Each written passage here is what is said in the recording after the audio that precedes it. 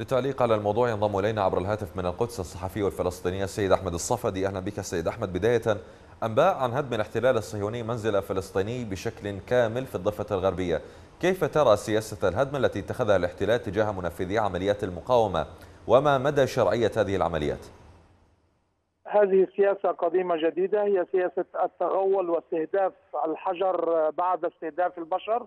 بعد اغتيال الشباب وفي حجج واهية يتم إعدام المقدسيين والفلسطينيين بدم بارد وهم يتغولون ليس فقط في القدس بل يتجهون إلى الضفة الغربية.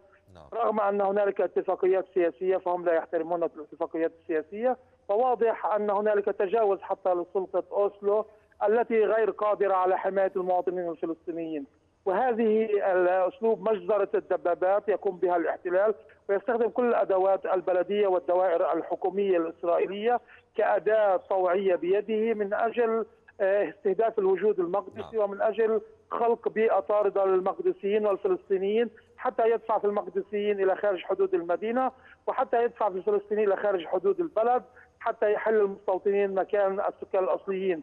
وهذا ما حدث اليوم بالشيخ جراح حينما استولى على قطعة كبيرة من الأرض لتعود للفلسطينيين وهذا بشكل دائم يحاولون الاستيلاء على المنازل ويستهدفون الفلسطينيين الموجودون طيب سيد أحمد إذا سمحت لي كيف تفسر ضعف السلطة الفلسطينية في التعامل مع هذه الانتهاكات الصهيونية؟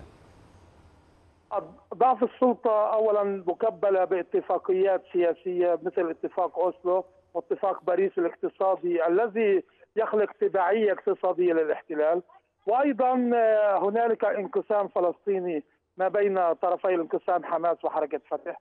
وهي مشكلة أساسية كبيرة. هنالك عدم وحدة وطنية وعدم الانصياع للمطلب الوطني والشعبي بتوحيد جناحي الوطن وإصلاح منظمة ماذا عن المصالحة؟ ماذا عن المصالحة الآن وهذه الدعوات وهذه التحركات الآن حتى كانت برعاية مصرية وغيرها؟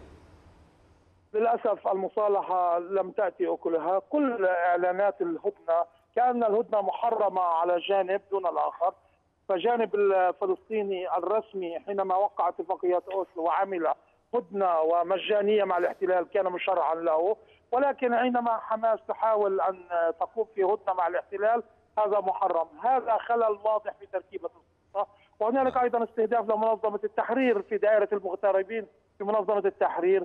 محاولة تقويض عمل منظمة التحرير لصالح السلطة الفلسطينية لصالح مكاسب شخصية.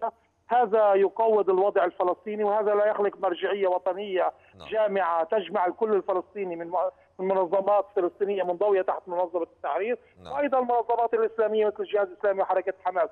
هذا ما نحن بأمس الحاج فيه شكرا جزيلا سيد أحمد الصفدي الصحفي الفلسطيني. كنت معنا عبر الهاتف من القدس.